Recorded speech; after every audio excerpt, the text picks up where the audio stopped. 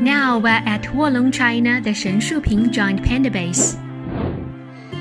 On the right side are the panda cubs born in 2019. The oldest is only about one year old, the youngest is a few months old. It's the age when pandas are the most lively and energetic. So this place is called Panda Kindergarten.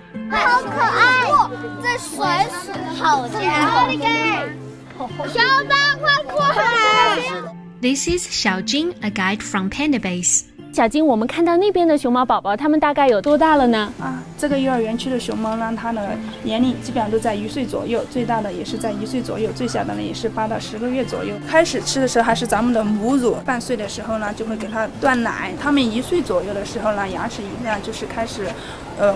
用乳牙换成了恒牙，芦笋它是他们最喜欢的。小金 told me that pandas used to be brown long time ago, then they slowly become black and white, but there's still some brown fur on their body. It is not because they are dirty; they are born this way.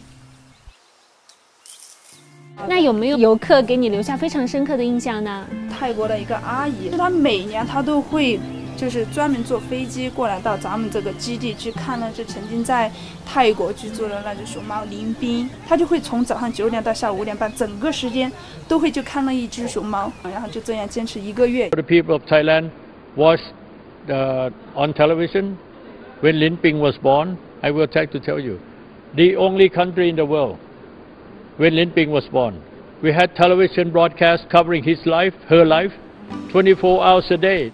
On the other side of the Shenshuping Giant Panda Base after crossing the Mount Balang Tunnel lies the Mount Siguniang known as the Alps of the East. There are 52 snow-capped peaks about 5,000 meters and Annie's alpine meadows.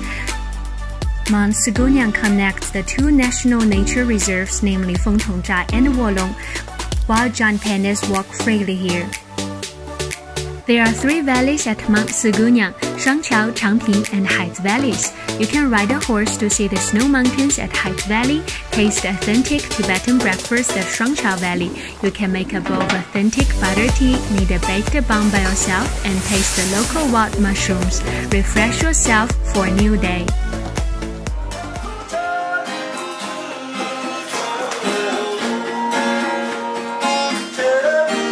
Longtown at the foot of the mountain is a great place to relax and have fun.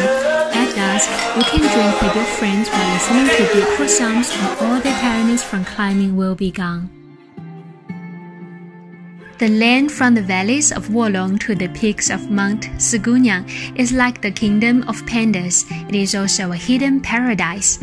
I'm going to keep following the panda tourists and I will explore the city of pandas.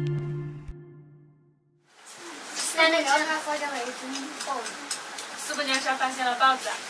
啊啊！等会儿我就要去四姑娘山。听他们说，这个树莓呢是可以吃的。